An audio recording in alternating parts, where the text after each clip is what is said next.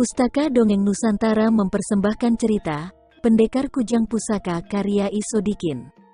Sahabat Pustaka Dongeng Nusantara yang berbahagia, pada kesempatan yang baik ini kita masuk pada episode yang ke-126. Selamat mendengarkan.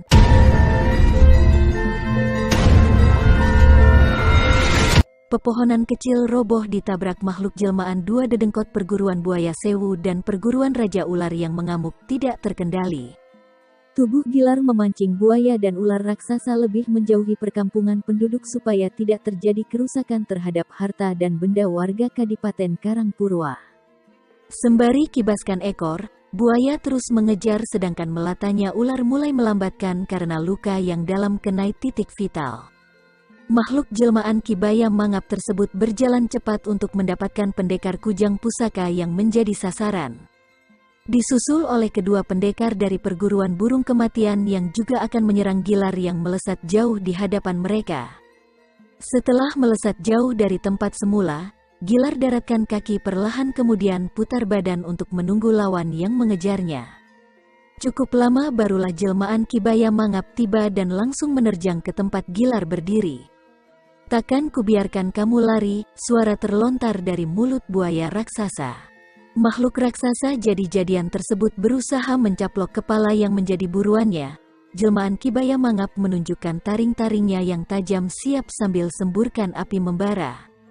Menyaksikan perubahan penyerangan, Gilar berjongkok kemudian setelah memastikan semburan api berlalu dan dekat sosok buaya raksasa jelmaan dedengkot perguruan buaya sewu. Pendekar kujang pusaka hujamkan kujang pusaka di sekitar jantung binatang jadi-jadian kibaya mangap yang tengah terbang. Zap, senjata pusaka warisan leluhur yang berbentuk kujang pusaka menancap mengakibatkan binatang besar tersebut limbung dan jatuh ke tanah. Kujang pusaka terlepas dari tangan Gilar, senjata sang pendekar tetap menusuk sang buaya raksasa yang menggelepar sehingga kujang pusaka hanya tampak gagangnya saja. Sementara Gilar sudah direpotkan oleh kekedua dedengkot dari perguruan burung kematian yang melayang bak burung yang akan mematuk mangsanya. Swir, swir kuku jari tangan kedua pendekar yang tajam tampak terbuka begitu pula dengan kuku jari akan mencengkeram tubuh lawan. Gilar dipaksa menghadap kedua sisi yang berbeda supaya dapat melihat pergerakan kedua lawan. Mereka bergerak bagai burung alap-alap yang akan menangkap anak ayam. Wuus, wuus. Serangan dua pendekar burung kematian dengan dilambari ilmu meringankan tinggi tidak mudah dilihat dengan mata telanjang. Sret wurut, kuku jari tangan salah satu dari pendekar burung kematian berhasil merobek baju yang sempat disobek pedang Kibaya Mangap. Ah, sedikit luka memanjang di punggung akibat cakaran menciptakan aliran darah dan rasa sakit menjalar tidak hanya di bagian luka sehingga sang pendekar kujang pusaka tampak meringis. Huahaha, Huahaha, kedua pendekar tertawa terbahak-bahak sambil kembali melayang untuk melanjutkan serangan berikutnya. Mereka berdua tidak mau membuang waktu dan tidak mau mendapatkan nasib sial seperti yang terjadi pada kawan-kawan mereka. Sehingga keduanya melakukan serangan jarak jauh, mereka menyerang secepat kilat dan menghilang setelah melakukan penyerangan.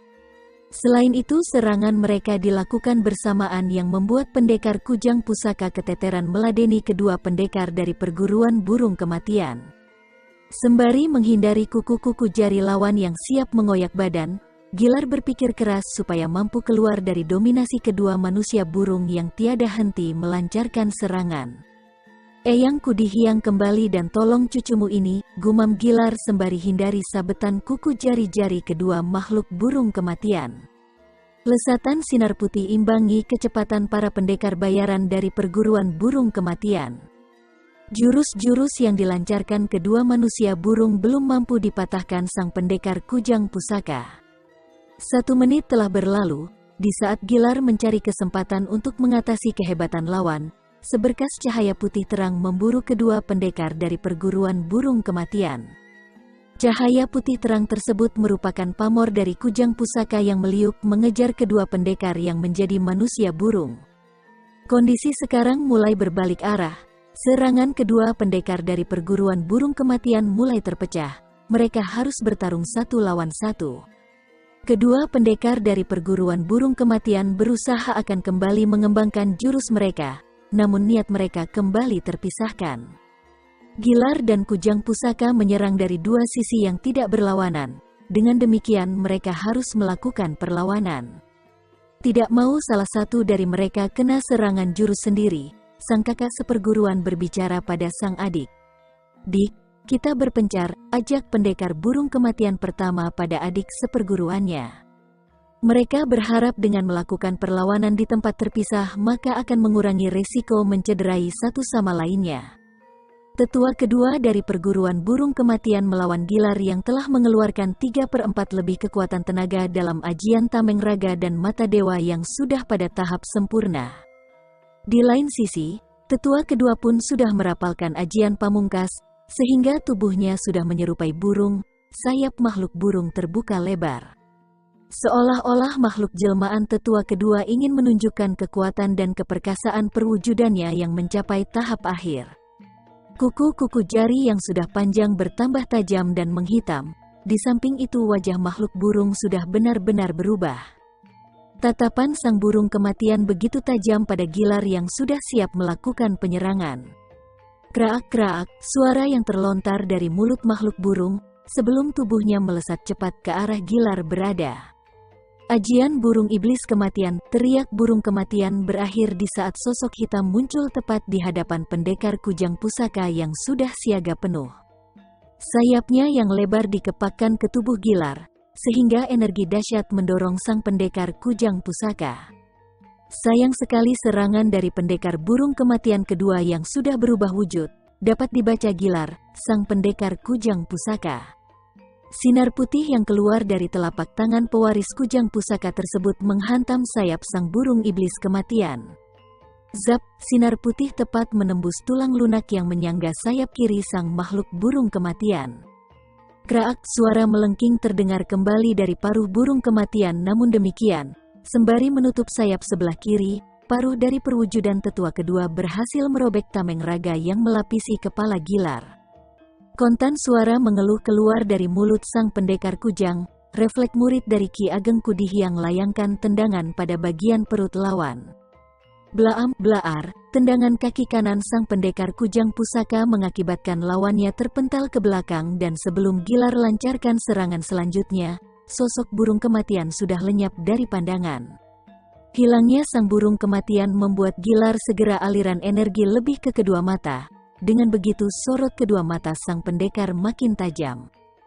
Seketika sang pendekar kujang pusaka putar badan dan dorongkan tangan kanan setelah tubuhnya menghadap ke belakang.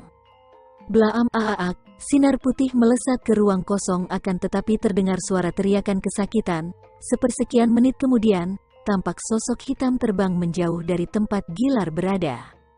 Tepat di samping sebatang pohon besar, Sosok hitam samar-samar menyelinap di balik pohon tersebut. Mengapa kamu sembunyi? Gilar mengejar sosok hitam yang merupakan perwujudan dari tetua kedua dari perguruan burung kematian. Kedua mata Gilar tidak melihat ke balik pohon, namun pandangan sang pendekar kujang pusaka terarah jauh ke depan. Sang pendekar kujang pusaka mengejar sosok hitam berkelebat meninggalkan tempat pertarungan, sekilas makhluk burung kematian terlihat akan bergabung ke tempat kakak seperguruan. Gilar, sang pendekar kujang pusaka mengejar makhluk burung kematian, tidak ingin lawannya pergi begitu saja, murid dari Ki Ageng Kudihiang percepat larinya supaya mampu mengungguli lawan.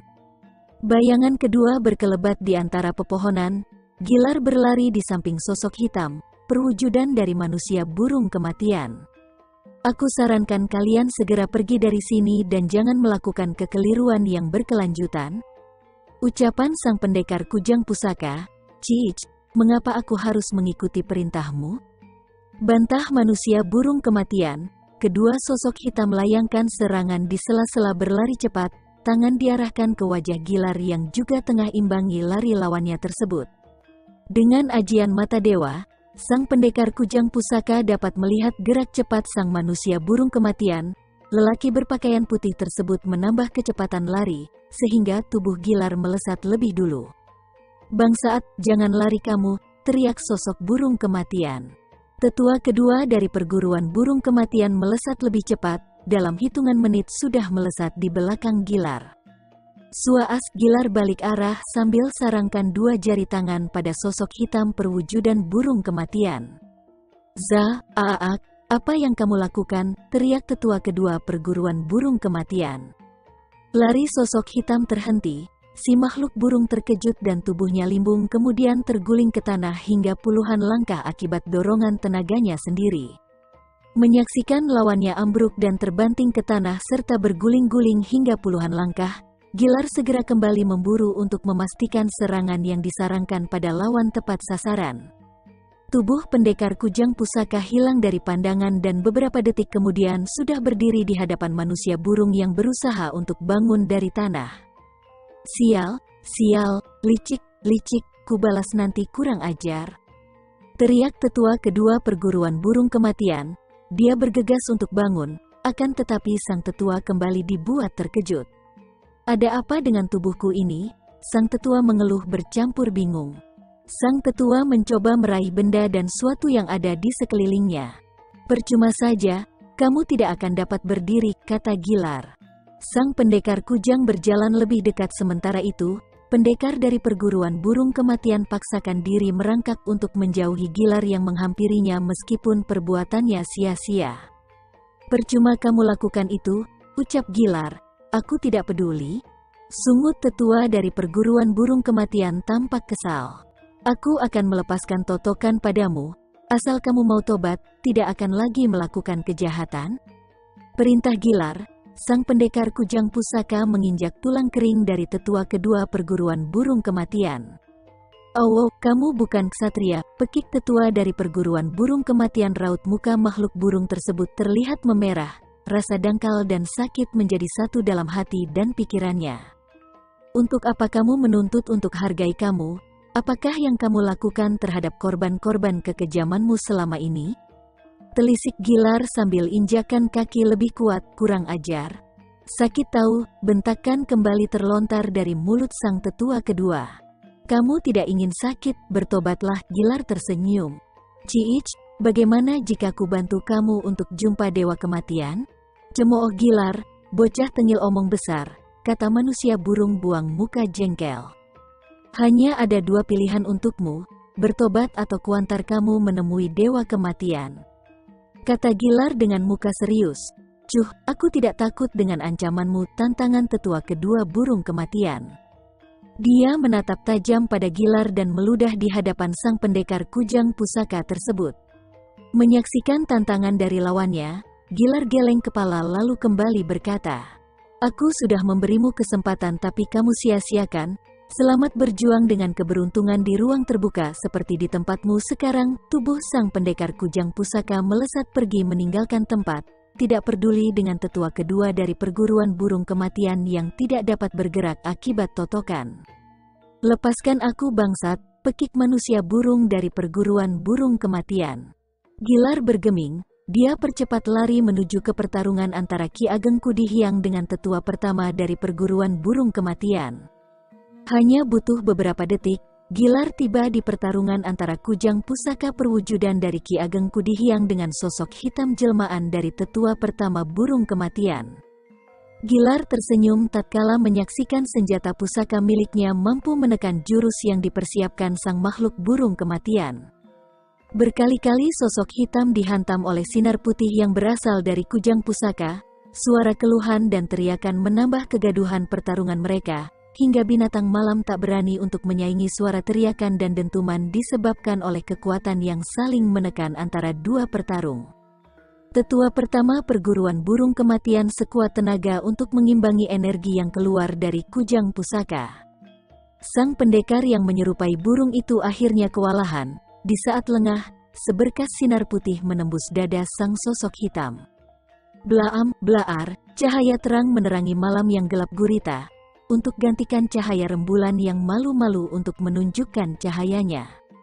Aak, teriakan kembali terdengar dari mulut tetua pertama perguruan burung kematian. Selaas zap, sang tetua burung kematian untuk ketiga kalinya berteriak, Tubuhnya terdorong jauh dan refleks tangannya memegang dada yang menghitam di hujam sinar putih. Sosok hitam berusaha hentikan laju tubuhnya, akan tetapi kakinya yang berpijak ke tanah terseret karena kuatnya tekanan tenaga yang menyertainya. Huk, darah hitam muncrat dari mulut pendekar dari perguruan burung kematian ketika tubuhnya membentur gubuk yang ada di pinggiran batas kampung saking jauhnya sosok hitam terdorong karena kuatnya energi yang dilancarkan Ki Ageng Kudihyang.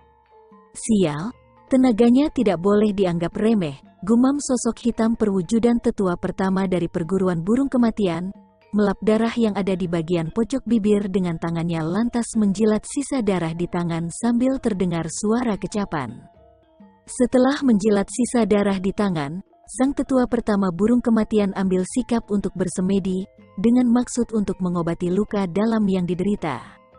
Kujang pusaka perwujudan Ku Ageng Kudih yang hentikan laju untuk memburu, setelah melihat sosok hitam perwujudan tetua pertama dari perguruan burung kematian duduk bersemedi di bawah pohon yang telah hentikan langkahnya. Dalam hitungan detik kemudian, Gilar sudah berdiri di belakang kujang pusaka yang tengah melayang melontarkan ucapan. Lanjutkan meditasimu, semoga kamu dapat pencerahan. Terdengar suara dari senjata kujang, kujang pusaka berpindah posisi, senjata perwujudan Ki Ageng Kudihyang tersebut berubah wujud menjadi cahaya putih kemudian melesat cepat ke dada Gilar. Wuus, cahaya putih masuk ke dada Gilar. Selang beberapa detik selanjutnya, sontak tubuh pendekar kujang pusaka bergetar, kemudian cahaya putih terang menyelimuti seluruh tubuh murid dari Ki Ageng Kudihyang. Hanya butuh waktu satu menit lebih, tubuh Gilar berhenti bergetar selanjutnya sang pendekar kujang pusaka tersebut hentakan kaki. Dalam sekejap mata pendekar yang mempunyai ciri khas berpakaian putih itu meninggalkan sosok hitam yang tengah mengobati luka. Di tempat persembunyiannya, raut muka Adipati Watu Geni memerah, dia merasa tidak nyaman dengan posisinya sekarang. Jadah, percuma aku membayar mereka, kata penguasa Kadipaten Karangpurwa. Adipati Watu Geni yang merupakan orang nomor satu di Kadipaten Karangpurwa berdiri dari persembunyiannya lalu akan hentakan kaki, akan tetapi pergerakannya tertahan oleh tangan yang memegang lengan kanannya. Biarkan dia pergi muridku, kita mencari kesempatan dan strategi yang tepat. Ucap Ki Karanglor yang berdiri di belakangnya, tapi guru.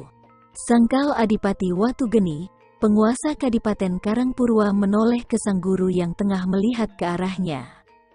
Percaya padaku Adipati, kata Ki Karanglor lagi. Lelaki berpakaian hitam tersebut berusaha meyakinkan muridnya. Lebih baik sekarang kita kembali ke Kadipaten untuk mengatur taktik supaya upaya kita tidak sia-sia. Ucap Ki Karanglor, guru sekaligus penasihat Kadipaten Karangpurwa pergi dari tempat persembunyian mereka, sementara Adipati Watu Geni yang merasa penasaran dengan Gilar. Lain kali tidak akan kubiarkan kamu menang begitu saja sungut penguasa Kadipaten Karangpurwa. Dia kepalkan tangan dengan gigi bergemeratak terdengar saking menahan amarah. Orang nomor satu di Kadipaten Karangpurwa tersebut tidak menyadari jika dia sudah ditinggalkan sang guru. Di tempat lain, Gilar yang tengah melesat bak kilat sudah tiba di batas sebuah perkampungan. Gilar hentikan lari sebelum gapura batas kampung, Kampung Karang Mukti. Benaknya berkata, pendekar kujang pusaka berjalan seperti biasa memasuki batas kampung yang tampak lengang. Ada apa dengan kampung ini? Gumam Gilar sembari terus jalan. Setelah lebih dari sepuluh langkah kaki berjalan, hawar-hawar terdengar suara seorang perempuan dari arah di mana dia menghadap. Sejenak Gilar hentikan langkah untuk memastikan asal suara yang yang terdengar di telinga sang pendekar kujang pusaka. Ngem, apa yang terjadi? Mengapa dia berteriak-teriak? Batin Gilar bicara, sekali hentakan kaki, tubuh sang pendekar pewaris senjata kujang melesat, dalam hitungan kurang dari satu detik sudah tidak tampak di tempat. Di tempat berbeda masih di kampung Karang Mukti, tepatnya di sebuah rumah gubuk, terlihat dua orang lelaki berperawakan gempal tengah menarik seorang pemuda bertelanjang dada dengan celana sebatas lutut tengah ditarik dengan kuda yang ditunggangi si Jambrong. Di belakang mereka seorang wanita berteriak-teriak mencegah sang pemuda dibawa paksa oleh kedua lelaki berkumis dan berjambang lebat. Tuan, jangan bawa anakku, dia tulang punggung keluarga kami. Teriak wanita yang umurnya sekitar paruh baya, ibu dari sang pemuda menarik tangan kiri anaknya supaya tidak diculik oleh kedua lelaki berpakaian hitam-hitam dan berjambang lebat. Pergi kamu, biarkan kami melaksanakan tugas kami. Bentak si codet, dia turun dari kudanya. Lelaki bermuka luka memanjang di pipi tersebut mendorong ibu dari pemuda kampung Karang Mukti. Buk, tolong, teriak perempuan paruh baya. Jangan sakiti ibuku, ucap sang pemuda dengan suara keras. Sang ibu terjatuh dan meminta tolong pada tetangganya yang tidak berani keluar ketika melihat orang-orang yang menculik pemuda berasal dari kampung mereka. Kami tidak akan melukai kamu dan ibumu jika kalian patuh pada kehendak Tuan Demang Warsa. Teriak si Jambrong sembari menarik sang pemuda dengan tali yang membelenggu tangannya. Jajangan bawa dia tuan-tuan, kata perempuan paruh baya sesegukan. Sudah sana pergi atau aku bawa anakmu yang lain. Bentak si Codet, buk, lagi-lagi si Codet, centeng dari Ki Demang Warsa daratkan kaki di dada perempuan paruh baya, sehingga ibu dari pemuda kembali terjatuh. Ibu dari pemuda dari kampung Karangmukti berusaha bangun, akan tetapi kembali kaki si codet membuat perempuan paruh baya tersebut ambruk ke tanah. Sementara itu, si Jambrong hentakkan tali kendali kuda dengan begitu sang pemuda lebih cepat tertarik, ditambah lagi kaki kanan si codet menendang pantat sang pemuda. Aak, buf, sang pemuda mengeluh kesakitan namun kembali kaki si codet sarangkan kaki ke pinggang lelaki belasan tahun tersebut, sehingga mau tidak mau, dia mengikuti keinginan kedua anak buah Ki Demang Warsa, mereka pergi menuju perbatasan kampung. Sahabat Pustaka Dongeng Nusantara demikian tadi, cerita pendekar kujang pusaka karya Isodikin. Bagaimana kelanjutan kisahnya? Ikuti terus ceritanya pada episode selanjutnya. Sampai jumpa.